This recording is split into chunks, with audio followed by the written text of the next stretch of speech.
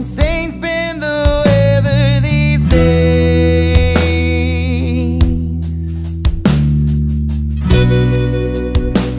No forecast could ever